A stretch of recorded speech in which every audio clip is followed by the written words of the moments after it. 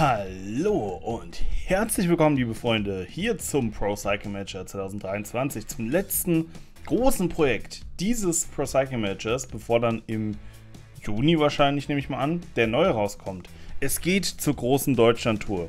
Es hat lang gedauert. Ich habe das Ding ja letztes Jahr im Sommer fertig gemacht, relativ kurz nach Release. Und an der Stelle möchte ich ganz besonders meine sehr geschätzte äh, Frau grüßen die damals noch meine Verlobte war und während der kompletten Vorbereitungszeit für die Hochzeit äh, es mental ausgehalten hat, dass ihr zukünftiger Ehemann jede freie Minute, die wir nicht irgendwie mit Planung, Arbeit oder sonst im Kram beschäftigt waren, äh, damit verbracht hat, diese komischen Strecken hier zu basteln, diese komischen Etappen zu basteln für eine fiktive Deutschlandtour das habe ich getan und es hat mir sehr viel Spaß gemacht. Was ich auch gemacht habe, und das möchte ich euch gerade mal zeigen, ist eine Karte entworfen, die so ein bisschen dem nachempfunden ist, was man auch immer bei der Tour de France sieht. Hier eine richtig schöne Streckenkarte mit allen Etappen. Ich denke, ich werde euch die auch nochmal ans Ende vom Video reinschnibbeln, damit ihr euch dann nochmal in Ruhe anschauen könnt, von wo nach wo wir fahren. Ihr seht's, es ist eine Deutschlandtour, die wirklich durch komplett Deutschland geht. 21 Etappen, wie eine Grand Tour eben.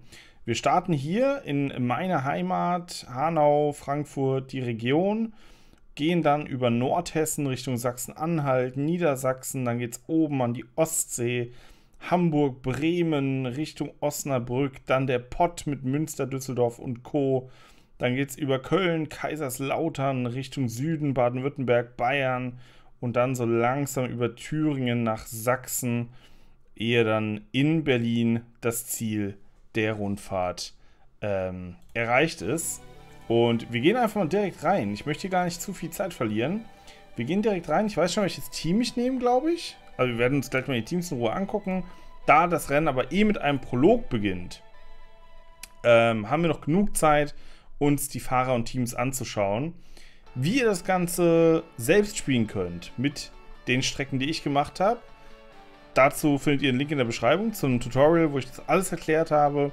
Und das hier ist sie. Das ist die Deutschland-Tour ähm, mit 21 Etappen. Es wird komplett wild. Ich lade meine Startliste und dann gucken wir, welches Team wir nehmen. Die einzelnen Etappen stelle ich euch noch vor. Und das sind also die Mannschaften, die hier alle mit dabei sind. Es, sind, es ist ein bunt gemischter Haufen. So viel kann ich schon mal verraten. Es ist wirklich bunt gemischt. Zum Beispiel haben wir drei Mannschaften aus der World Tour dabei. Diese sind allerdings allesamt äh, mit den schwächsten oder so ziemlich schwächsten Fahrern der jeweiligen Teams bestückt. Also das Astana Kasachstan Team zum Beispiel macht seinem Namen in dieser Version sogar mal alle Ehre. Denn bis auf Manuele Boaro sind tatsächlich nur die Kasachen aus dem Team dabei. Und davon natürlich auch nur die Schwächsten, weil wenn ich hier einen Alexei Lutsenko hinschicke, dann ballert der hier alles weg. Also Evgeny Fedorov und Evgeny Gidich die beiden Jevgenis werden die Kapitäne sein für diese Mannschaft. Dann haben wir aus ähm, Angola dabei die Mannschaft bei Sikasal Petro de Luanda mit pa Charles, äh, Charles Page heißt der Mann ähm, an der Spitze. Gorka Sorain wird auch mit dabei sein und der beste Mann aus äh, Angola ist Bruno Araujo oder Araujo, ich weiß gar nicht genau, wie der ausgesprochen wird. Wie gesagt, wir gehen noch auf die einzelnen Fahrer detaillierter ein, machen uns jetzt einen kurzen Überblick. Bora ist dabei, darf als deutsches Team natürlich nicht fehlen, aber ihr seht es auch abgespeckt mit einer sehr, sehr schwachen Mannschaft für Bora-Verhältnisse.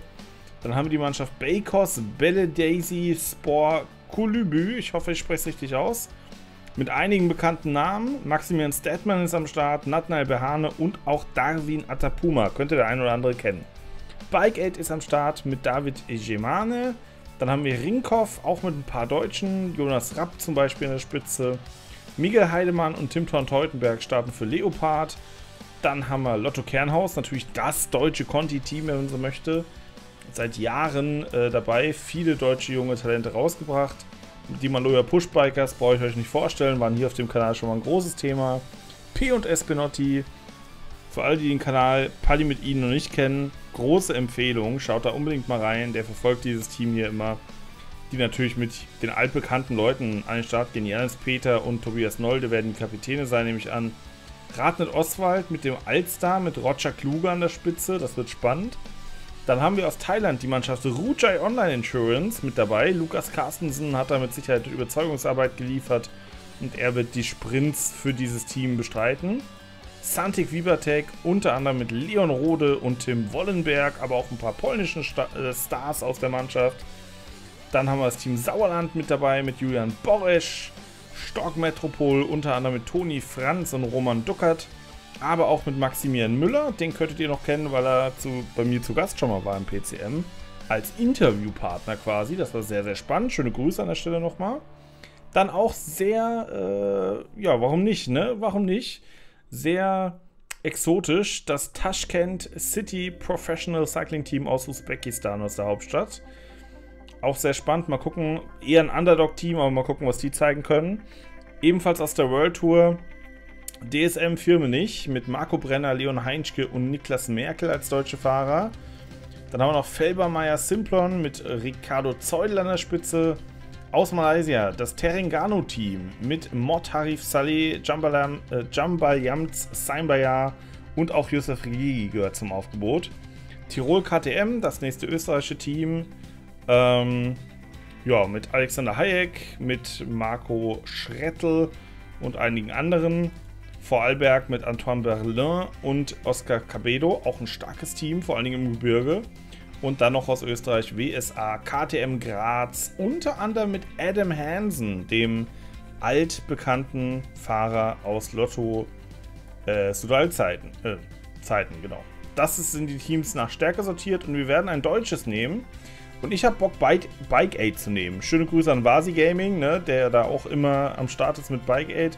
Aber ich glaube, Bikeit ist am interessantesten, weil wir haben jemanden mit David Gemane, dem ich zutraue, dass wir hier um den Sieg mitfahren können. Wir haben mit Pirmin Eisenbart einen soliden Sprinter. Vincent Dorn hat sich ja bei der letzten Deutschland-Tour in Real Life ganz gut präsentiert. Erik Mohosa haben wir noch dabei von, aus Ruanda, auch guter Bergfahrer. Und dann noch so ein paar, ja, muss man ehrlich sein, ein paar Füllerfahrer. Den einen oder anderen kenne ich tatsächlich noch. Äh, Park und Decker waren, glaube ich, auch Teil meines Teams bei der Conti-Karriere. Ansonsten, ja, nehmen wir diese Mannschaft, wir nehmen Bikegeld und wir gehen direkt rein. Wir starten in Hanau in diese Rundfahrt und bevor wir richtig reingehen, zeige ich euch noch ganz kurz die Etappen in der Übersicht. Also, wir gehen es schnell durch. Ein Prologzeitfahren von 32 Kilometer Länge von Hanau nach Ronneburg. Da können wir gleich drüber reden, weil wir es ja starten werden. Dann geht die erste Etappe mit Massenstart von Hanau nach Offenbach. Ja, es ist ungefähr eine ähnliche Strecke in der ähnlichen Region wie Eschborn-Frankfurt. Ähm, auch hier mit dem Feldberg.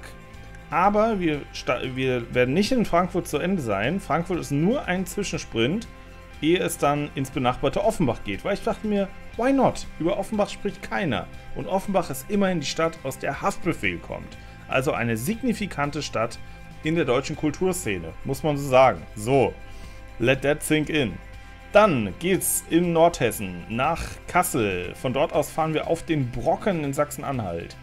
Als nächstes Hannover nach Magdeburg. Ist das so richtig rum? Starten wir nicht in Magdeburg und enden in Hannover? Scheinbar nicht. Okay.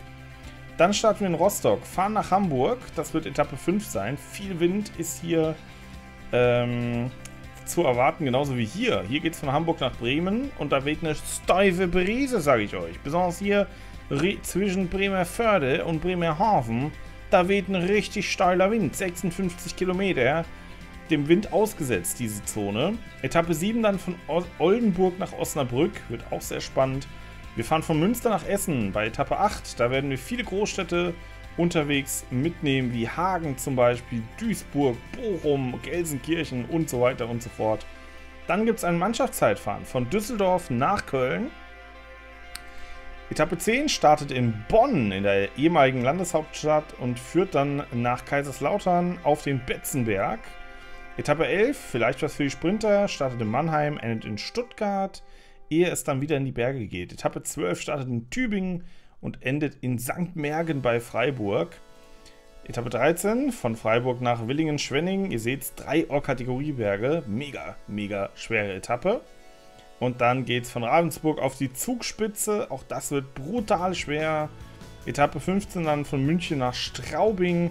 Etappe 16 Regensburg-Würzburg.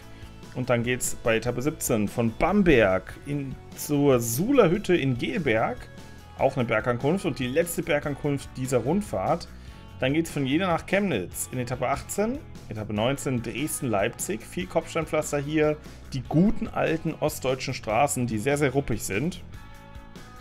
Vorletzte Etappe, es geht von Halle nach Dessau, ein Einzelzeitfahren, 47 Kilometer und dann die letzte Etappe von Potsdam nach Berlin zum Brandenburger Tor.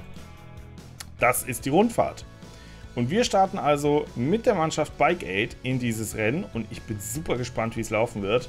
Let's go. Wir gehen sofort rein und ähm,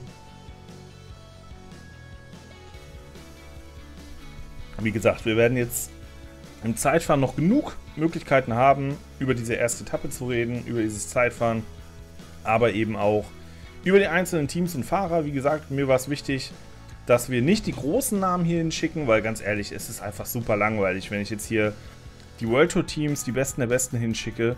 Ja, dann werden wir halt sehen, wie Mathieu van der Poel, Wout von Aert, Wingegaard und Pogacar das Ding dominieren. Oder auch ein Evenepoel. Halt die typischen Namen, die man sonst immer sieht. Und deshalb dachte ich mir, weißt du was? Wir pushen in erster Linie meinen deutschen Radsport, auch so ein bisschen die Österreicher und Schweizer. Ähm, aber schauen, dass das alles so ein bisschen auf einem gehobenen Conti-Niveau stattfindet, sodass wir also hier auch viele äh, unbekanntere Namen mit dabei haben. Und damit wären wir also hier in Hanau und Damir Sabirov, der Mann aus Taschkent, behaupte ich jetzt einfach mal, also aus Usbekistan zumindest kommt er, startet als erstes in diese Rundfahrt. Deutschland-Tour 2023 das ist das Rennen, in das wir starten. Dominik Weiß für das Team Sauerland jetzt unterwegs. Und als nächstes kommt Claudius Wetzel für ähm, das. Oh Gott, wie hießen die nochmal? Oh, ich kann mir diesen Namen nicht merken. Das ist das Team Stork Metropol Cycling, die ja hier auch Hanau auf dem Arsch stehen haben. Also Heimspiel heute. Heute und morgen, das werden die Etappen sein, bei denen sie sehr, sehr motiviert sein werden. Denn das ist, wie gesagt, das Heimspiel. Es gibt vier Zeitnahmen. Zum einen in Hanau an der A66 gibt es die erste Zwischenzeit, dann in Bruchköbel, kleiner Nachbarort, wird die zweite Zwischenzeit genommen, dann am Waldberg Richtung Ronneburg. Äh, die größte Steigung wahrscheinlich des heutigen Tages, dritte Zwischenzeit, das wird auch wichtig. Und dann eben äh, auf der Ronneburg die letzte Zeitnahme des heutigen Tages. Tim Wollenberg startet jetzt ins Rennen für Santik Vivatek und Zorzakis für die Mannschaft Ruja jetzt unterwegs. Also hier werden einige Teams und Fahrer zeigen können, was sie drauf haben. Philipp Weber für die Maloja Pushbikers zum Beispiel und jetzt auch Adrian Zuger, der erste Starter für unser Team, für Bike Aid das wir jetzt hier mal nehmen. Wir hätten natürlich auch wieder die Maloya Pushbikers nehmen können, denen treu bleiben können. Klar, hätte ich auch super gern gemacht. Ich hätte prinzipiell gar kein Problem damit. Das Problem ist halt nur, und das fände ich ein bisschen lame, die haben halt leider niemanden im Kader, der eine Chance hätte, hier um den Gesamtsieg mitzufahren. Wenn sie noch den ähm, Alexander Evans gehabt hätten, den wir auch in unserer Karriere damals hatten, das wäre jemand gewesen, mit dem hätten wir hier vielleicht vorne reinfahren können. Ähm, aber ja, wie gesagt, ist leider nicht mit dabei. Und eine Sache muss ich natürlich nochmal hervorheben. Das habe ich jetzt noch gar nicht so großartig thematisiert, nur mal am Rande gestriffen. Ich habe diese ganze Rundfahrt entwickelt. Ne? Also diese ganze Deutschland Grand Tour habe ich mit dem Editor gebastelt. Alle 21 Etappen sind von mir zusammengeschustert worden. Und es war eine irre Menge Arbeit. Also gerne mal einen Daumen nach oben und äh, einen Kommentar da lassen, wie es euch gefällt. Natürlich nicht nur heute, auch die nächsten Etappen. Alles von mir per Hand erstellt worden im Editor. Und ähm, dementsprechend auch die ganze Planung von der Strecke, alles meine Idee mit äh, Hilfe von Google Maps und so weiter. Habe ich geguckt, was sind äh, realistische Streckenlängen. Habe natürlich versucht, ungefähr so ganz Deutschland mitzunehmen. Ich glaube, es ist mir auch einigermaßen gut gelungen. Ne, wir haben so alle Ecken mal mit dabei. Wir fahren durch den Osten, wir fahren durch den Norden, den Süden, den Westen und so weiter. Und hier hat Jambal Yams, sein Bayar, der Mann aus der Mongolei, die Frechheit, uns zu überholen. Also, da fährt er gleich mal uns vorbei. Terenganu auch mit dabei. Die Mannschaft aus Malaysien hier am Start dieser Deutschland Grand Tour, der ersten Deutschland Grand Tour, die es jemals gab. Drei Wochen durch Deutschland. Das wird ein Abenteuer, Leute. So, Zuger jetzt hier durch, durch einen kleinen Waldweg. Erste Zwischenzeit, wie gesagt, Nähe der A66. Und da ist er momentan auf Rang 5. Ist nicht so schlecht unterwegs. Und auch hier Philipp Weber von den Pushbikers. Keine Chance gegen Sein Bayard, der hier auch die schnellste Zwischenzeit gefahren ist. Also, das ist wirklich eine, ein starker Auftritt hier von Sein Bayard. Und jetzt kommt hier hinten Nick van der Leike von Leopard. Eieiei, die starten hier direkt alle rein wie die Feuerwehr. Ich mache mal die Perspektive so ein bisschen so, glaube ich. Das, das, ähnelt so ein bisschen der, ähm, der Perspektive von den Motorrädern beim Zeitfahren einfach. So, wir kommen jetzt gleich zur zweiten Zwischenzeit. Da sind wir auch schon, mitten im Bruchköbel. Gibt es die nächste Abnahme. Da sind wir auf Fragen 6, 4 Minuten 20 hinter Sein Bayard. Da merkt man also wieder, wie schnell der unterwegs war. Mein lieber Mann. Und ich finde es auch schön, wie hier die Strecke geschmückt wurde mit den ganzen deutschen Fahnen. Das äh, ist sehr, sehr schön und das hat natürlich auch alles ich gemacht. Ne? Deswegen Daumen hoch, Leute, Daumen hoch. So, Van der fährt jetzt auch an uns vorbei. Das ist nicht so geil, aber das Gute ist, ähm, Adrian Zuger ist zum Glück kein wichtiger Fahrer für uns. Von daher, ja, wenn der jetzt hier im Zeitfahren nicht performt, das können wir alles ähm, verschmerzen. Jetzt geht es den Waldberg hinauf. Dann seht ihr ihn auch mal. Und hier gibt es die nächste Zwischenzeit. Und da sind wir noch einen Ticken weiter, 5 Minuten 47 zurück. So, jetzt startet Palke, der nächste Starter für unsere Mannschaft. Ich lasse den erstmal auf Autopiloten. Wir gucken weiter mit Adrian Zuger. Es geht jetzt den Waldberg hinab. Abfahrt, noch 4 Kilometer bis ins Ziel. Und dann geht es hinauf zu Ronneburg. Der Anstieg, das sind jetzt so kleine Gegensteigungen. Ähm, der richtige Anstieg, der kommt gleich noch. Da sind wir jetzt dann gleich drin im Schlussanstieg auf die Ronneburg oder hoch zur Ronneburg. Hier sieht man die Burg schon im Hintergrund. Sehr, sehr schön. Jetzt sind wir im abgesperrten Bereich. Die letzten Meter für Adrian Zuger beim Prolog dieser Deutschland-Tour. Und dann ist er im Ziel und ist auf Rang 16. 6 Minuten 32 hinter Maximilian Schmidtbauer, dem bisherigen Führenden vom Team WSA KTM. DSM haben wir dabei mit Rödenberg, Frederik Rödenberg aus Dänemark. Und dann haben wir Anton Palzer, schon einer der Top-Favoriten vielleicht, auf den Rundfahrtssieg. Das wird spannend zu beobachten sein, wer da so die Fahrer sind, die überhaupt in Frage kommen für den Sieg. Ich habe ehrlich gesagt keine Ahnung, aber ich denke mal, Anton Palzer wird einer derer sein, die man beobachten muss. Bora Hansgrohe nicht ganz das überragende Team, das man vielleicht von ihm erwartet. Und er ist zumindest mal deutlich schneller als Schmiedbauer, 1,35 schneller und eine Zeit von 42 Minuten und 58 Sekunden von Anton Palzer. Ja, wie gesagt, wir haben hier einige Fahrer dabei aus äh, den World Tour Kategorien. Ähm, alle anderen allerdings aus der Conti-Liga, also eigentlich kein Profiradsport. Auch hier diese türkische Mannschaft Bakos mit den gelben Trikots. Äh, Messner haben wir hier von WSA. Dann Ritzinger von Felbermeier, Rucai mit dem nächsten Starter, Bambang, Soriadi aus Indonesien, Rechenauer hier für Rinkov, dann Paul Rudis für die Pushbikers. Und dann haben wir hier also Palke, der für äh, unser Team Bikehead unterwegs ist, allerdings auch kein wichtiger Fahrer, insofern habe ich den mal ignoriert. Josef Rikigi, ja, den kennen wir alle, äh, algerischer Meister im Zeitfahren ist er, sogar. Da haben wir Colin Stüssi, auch einer, der im erweiterten Favoritenkreis zu nennen ist. Vorarlberg, sein Team, auch eine starke Mannschaft aus Österreich, die wir beobachten werden. Natarov von Astana, ebenfalls ein interessanter Mann für die Gesamtwertung. Ja, und ihr seht schon, hier ist äh, Luis Joe Lürs. Und dessen Bruder haben wir gerade eben schon gesehen. Vielleicht habt ihr das festgestellt. Hier ist er. Leslie Lürs, der für Lotto Kernhaus fährt. Also auch das wird nochmal das interne Bruderduell während dieser Rundfahrt zwischen den beiden Lürs sein. Der eine fährt fürs World Tour Team Bora, der andere für das Conti-Team äh, Lotto Kernhaus. Jan-Marc Temmen haben wir hier von dem äh, Sauerland-Team. Dominik Röber von P&S Benotti in den blau-blauen Trikots. Sehr, sehr coole Trikots, wie ich finde. So, dann gucken wir doch mal, wer hier noch alles startet. Schormeier geht jetzt von der Rampe. Dann der Meister im Zeitfahren aus Laos. Aria Punsavat, ebenfalls Fahrer der Rujai Online Insurance Mannschaft. Hier ein Schweizer, nämlich Matthias Reutimann für Felbermeier am Start. Und der nächste Starter für Rinkhoff geht ins Rennen und das ist Timon Loderer, ich glaube der einzige Fahrer aus Deutschland in dieser Mannschaft. Christian Koch jetzt für Lotto Kernhaus unterwegs. Und jetzt kommt Patrick Reisig und damit der letzte Starter vor Muhosa.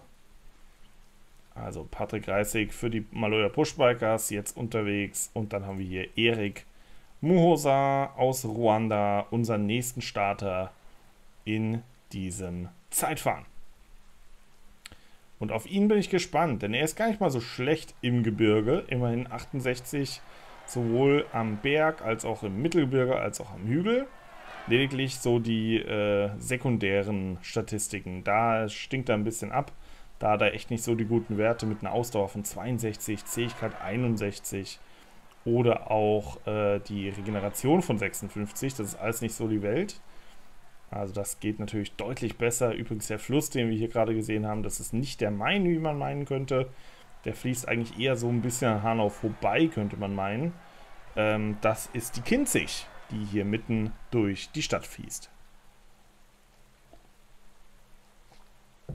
Und zu dieser Strecke, die wir hier im Zeitfahren fahren, kann ich noch ein bisschen mehr erzählen. Und zwar ist die Ronneburg und auch dieser ganze Weg ähm, ja, natürlich nicht mit Start in Hanau, aber zumindest Ronneburg, Waldberg und so weiter. Das ist äh, dem nachempfunden, was früher in meinem Heimatverein die ähm, typische Trainingsrunde war, die wir immer gefahren sind in der Jugendmannschaft. Schon lange, lange her natürlich. Aber da sind wir früher immer unsere Runden gedreht. Ronneburg war immer gerne ein, äh, ja, ein Punkt, wo man nochmal sich richtig auspowern konnte am Berg. Das war immer schön. Und jetzt überholt hier Erik Mohosa Patrick Reisig. Was für ein Moment. P16 aktuell für den Mann aus Ruanda. Und das sieht so aus, als wäre er sogar relativ schnell unterwegs. Hätte ich gar nicht so erwartet. Also relativ schnell, ne? Ich meine, er hat 59 im Zeitfahren. Da wird nicht viel passieren. Und hier Jeroen Meyers holt uns gleich auf den Boden der Tatsachen zurück. Überholt uns da mal easy der Mann aus der malaiischen Terengganu-Mannschaft. So, gleich kommt die Zeitabnahme in Bruchköbel. Und da sind wir jetzt auch. P23 dort für Muhosa. Ja, dessen Einsatz wir jetzt auch noch mal ein bisschen regulieren müssen. Der verpowert da ein bisschen zu viel Energie. Meyers können wir uns jetzt wieder ein bisschen zurückholen. Das ist gut. In der Zwischenzeit immer noch Anton Palzer auf Rang 1 vor Mats Wenzel und Felix Ritzinger. Bester Deutscher, damit natürlich Anton Palzer. Ansonsten haben wir auf 8, auf 10 und jetzt auch auf 5 mit Timon Loderer, deutsche Fahrer. Da kommt Patrick Reißer auf einmal aus dem Nichts zurück, hier am Waldberg. Da zeigt er seine Qualitäten. Ist ja ein ganz guter Puncheur, dieser Patrick Reißer. Ja, jetzt also Platz 23 für Mohosa hier am Anstieg und gleich startet schon der nächste von Bikegate. Das ist gar nicht so einfach, das hier alles abzupassen. Matthijs startet jetzt. Oliver Matthijs, der nächste Fahrer aus unserem Team. Soll auch erstmal im Automodus losfahren. Der kann das ja auch ohne uns. Jetzt kommt hier Tim Teutenberg, ebenfalls von der Mannschaft Leopard. Das wird ein Mann für die Sprinter sein, fährt ja im Real Life bereits für Lidl Track. Hat also den Sprung zu einem Profiteam geschafft. So, und jetzt gucken wir nach Muhosa, dass da die Kraft auch richtig eingeteilt wird. Und das sieht gut aus. Also, Erik Mohosa, Platz 22 am Ende, 4 Minuten 24 hinter Tim Teutenberg. What? Neue Bestzeit von Tim Teutenberg. Das ist eine Überraschung. Hätte ich nicht gedacht, dass der hier so reinballern würde. Und hier Lorenzo Milesi von der Mannschaft DSM ist auch richtig stark unterwegs. Platz 3 bei der letzten Zwischenzeit, also bei der ne, dritten. Zwischenzeit. Da schauen wir jetzt nochmal, wie es im Ziel aussehen wird. Überholt hier Rück. Und könnte eventuell die neue Bestzeit schaffen. Ist ein bisschen unrealistisch, aber Platz 2, 3 Sekunden hinter Tim Teutenberg. Also das ist richtig stark. Auch Gruzdev mit einer starken Zwischenzeit. P5 war das. Auch er zeigt sich stark und Vierter ist am Ende.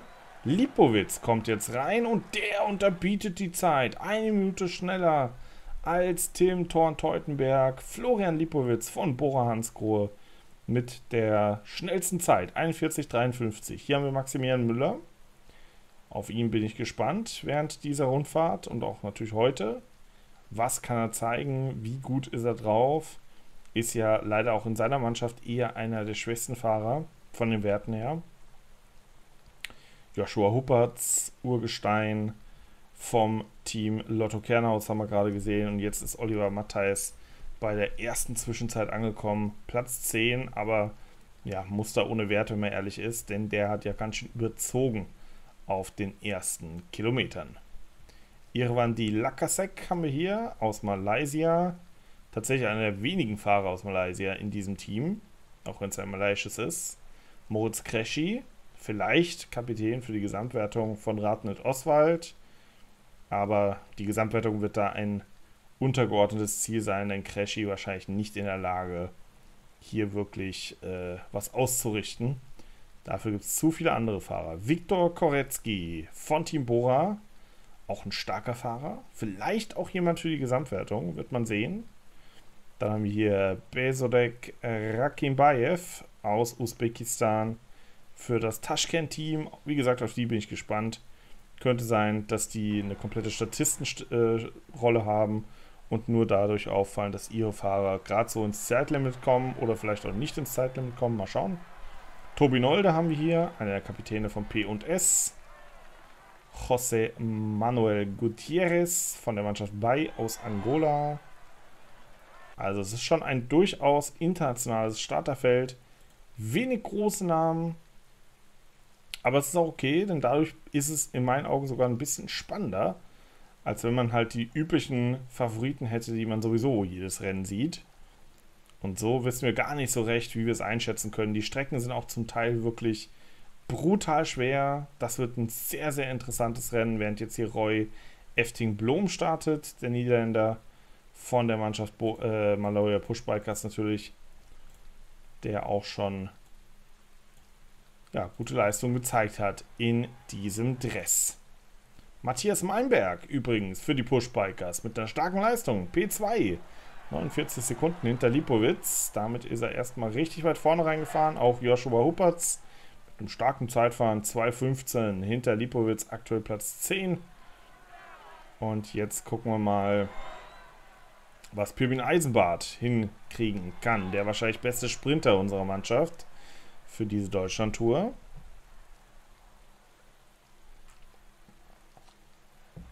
Es wird wahrscheinlich schwer, in dieser Rundfahrt was zu reißen für unser Team. Moritz Kreschi, uh, Ausrufezeichen, Platz 2. 32 Sekunden hinter Lipowitz, also vielleicht doch einer für die Gesamtwertung, wer weiß. Also worauf ich gerade noch hinaus wollte, es wird schwer wahrscheinlich bei dieser Rundfahrt was zu reißen für unser Team. Ähm, Etappensiege sind natürlich ein Ziel. In der Gesamtwertung weit vorne reinfahren mit Germane ist ein Ziel, aber man muss von Tag zu Tag gucken, denn jeder Tag birgt hier seine eigenen Gefährlichkeiten. Und es ist wirklich keine normale Rundfahrt, wie man sie aus PCM kennt. Und das fängt ja hier schon an. Ich meine, aktuell hat der 20. 3 Minuten 32 Rückstand auf den ersten und das bei Tag 1. Also das ist ja nicht normal. In dem Prologzeitfahren hast du ja eigentlich immer nur ein paar Sekunden Abstand. Hier werden schon richtig die Minuten abgerechnet.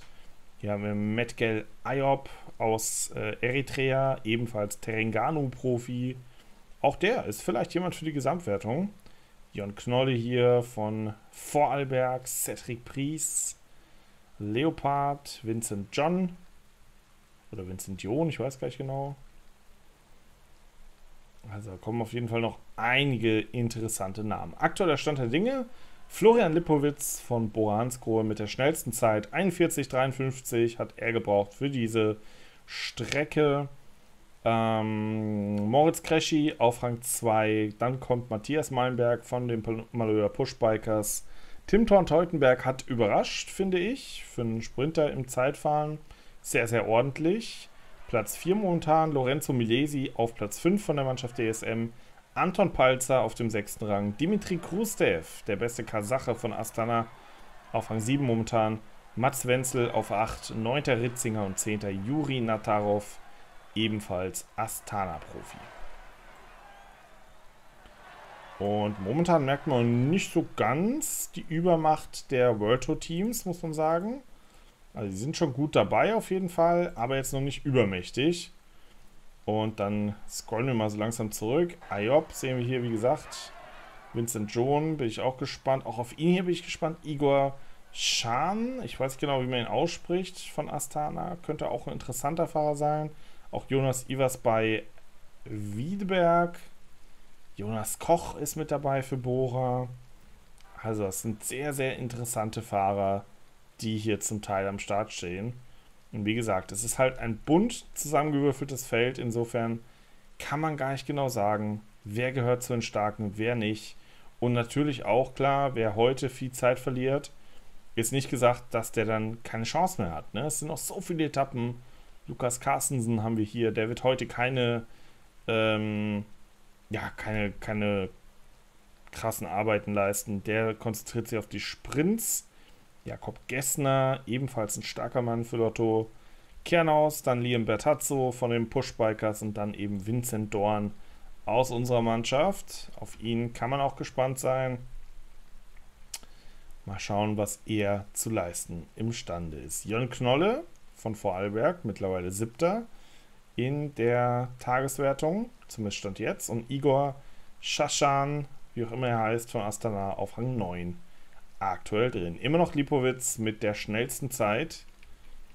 Und ich glaube, die wird auch Vincent Dorn nicht unterbieten können. Wer ist hier noch dabei? Jesse Ewart. Boah, auch ein starker Fahrer aus Irland. Ebenfalls Terenganu-Profi. Dann haben wir den Ausreißerkönig Mats Östergaard Kirstensen, nee, Christensen heißt er, von Leopard. Und dann Oscar Cabedo, auch ein starker Bergfahrer von Vorarlberg. Der könnte auch richtig spannend werden im Hochgebirge, wenn es zur Zugspitze geht oder zur Sula Hütte.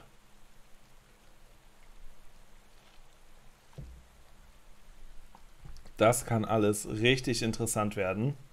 Und das wird es. Da bin ich fest von überzeugt. Ich glaube, ich habe hier eine echt gute Rundfahrt in diesem Editor zusammengeklöppelt. Und ich hoffe, dass da die Entwickler vom PCM noch ein bisschen was dran machen, weil dieser, dieser ganze Prozess, wie man diese äh, Etappen erstellt und so weiter, das ist schon alles eine ziemliche Formelei. Und man könnte es, glaube ich, viel, viel nutzerfreundlicher machen. Und dann gäbe es auch viel, viel einfachere Rennen. Also, man könnte so viel machen im PCM. Man müsste es nur wollen, fürchte ich. Ne? Das ist so das Hauptproblem bei PCM. So, wir fahren jetzt den Waldberg hinauf mit Vincent Dorn, der das hier gut macht. Schön durch diese steile Rechtskurve und jetzt geht es auch schon etwas bergab. Zwischenzeit Platz 24 für ihn. Ja, und jetzt kommt eben dieses Schlussstück Richtung Ronneburg, wo man es richtig fliegen lassen kann. Die kleinen Gegensteigungen hier. Da drücken die trainierten Fahrer hier natürlich alle drüber wie sonst was. Das ist ja gar kein Problem. Und dann ist er gleich im Ziel an der Ronneburg. Letzter Kilometer jetzt für Vincent Dorn. Und dann, wie gesagt, ist er drin. Vollgas und dann ist es Platz 26. 3 Minuten 19 fehlen ihm am Ende. So, Leon Heinschke haben wir hier auch von DSM. Cesare Benedetti von Bora.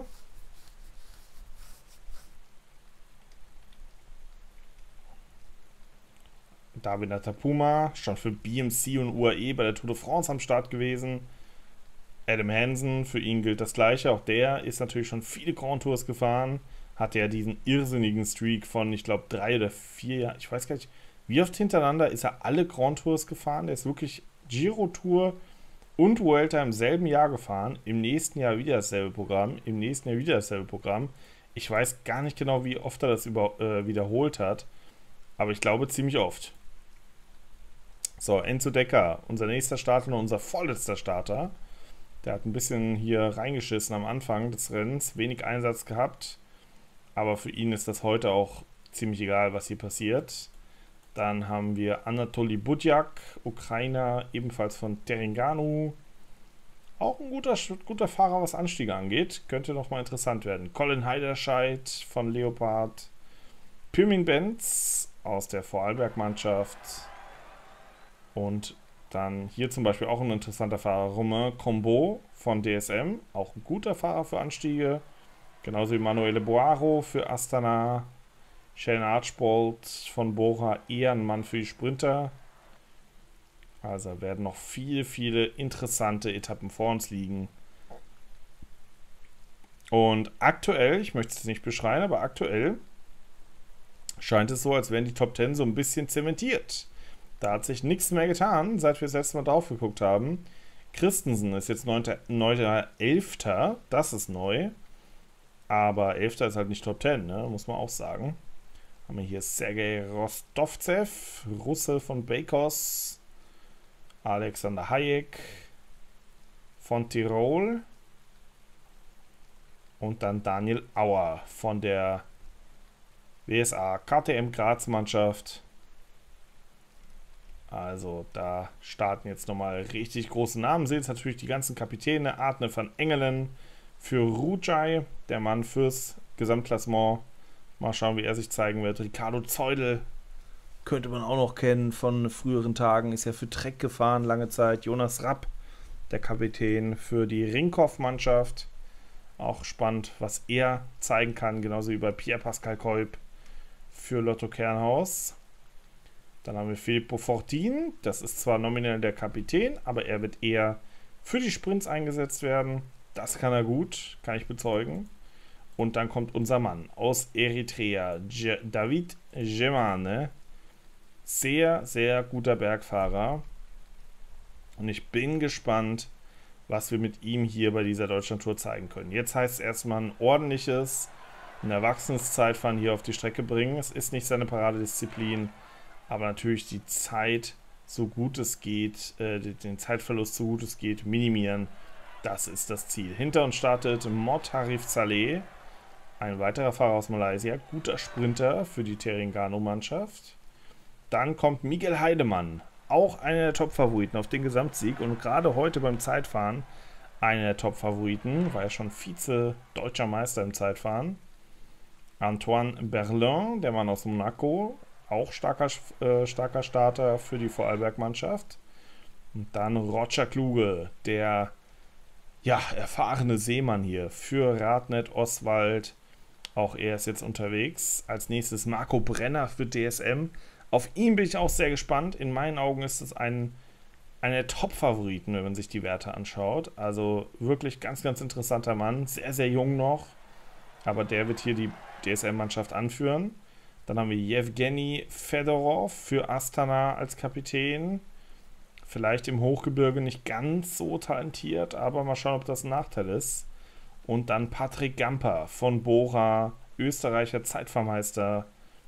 Der startet jetzt also auch. Guter Allrounder auch, muss man sagen. Das könnte ihm bei dieser Rundfahrt entgegenkommen.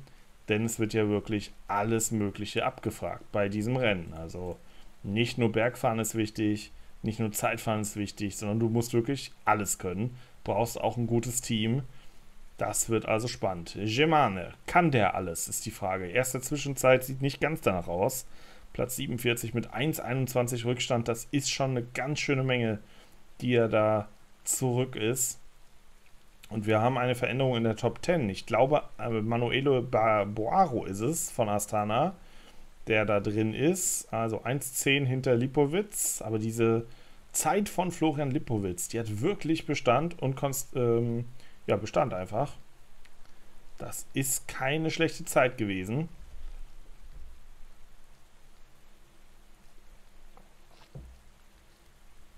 Aber wie bereits gesagt, es kommen noch einige dicke, dicke Fische, die hier in den Teich geworfen werden. Und dann bin ich mal gespannt. Ich kann mir gut vorstellen, dass Lipowitz Zeit noch fallen wird. Zweite Zwischenzeit jetzt für Gemane. 1,45 der Rückstand, Platz 56, also konstant geblieben in der zweiten Zwischenzeit. Und jetzt ist es wichtig, hier im Flachen nicht zu sehr zu überpacen, denn am Anstieg, da traue ich Germane alles zu. Da ist er einer der stärksten hier im Feld, würde ich mal behaupten. Aber das reine Zeitfahren, die Pace im Flachen zu halten, das ist eben einfach nicht seine Kerndisziplin. Und da geht es bei uns ganz klar nur um Schadensbegrenzung. Und deshalb glaube ich auch nicht, dass wir mit ihm unbedingt diese Rundfahrt gewinnen können, weil dafür sind die Zeitfahren einfach zu wichtig. Und hier so ein Miguel Heidemann zum Beispiel, der fliegt da nur so an uns vorbei, weil er es einfach perfektioniert hat. Zumindest für die Verhältnisse dieses Starterfelds gesprochen. So. 68. 4,23. Da haben wir nochmal richtig Zeit verloren. Auf den Rest. David Gemane. Und jetzt die letzten Meter. Also nochmal richtig alle Kräfte zusammennehmen. Und gucken, dass wir hier möglichst gut abschneiden auf den letzten Metern noch.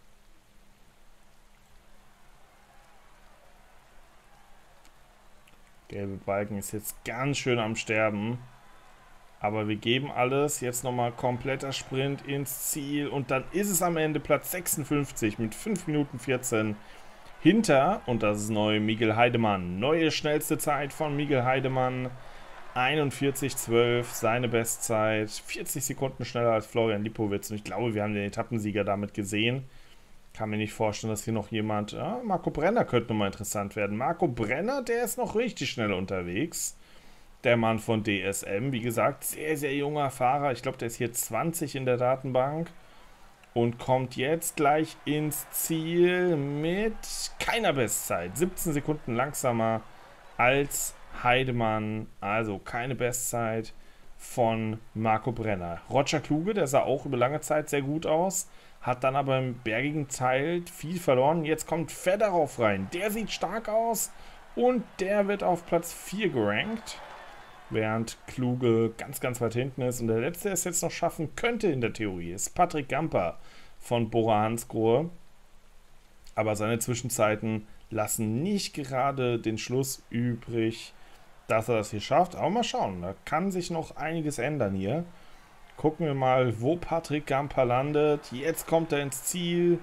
Und das ist Platz 22 am Ende für den österreichischen Zeitvermeister.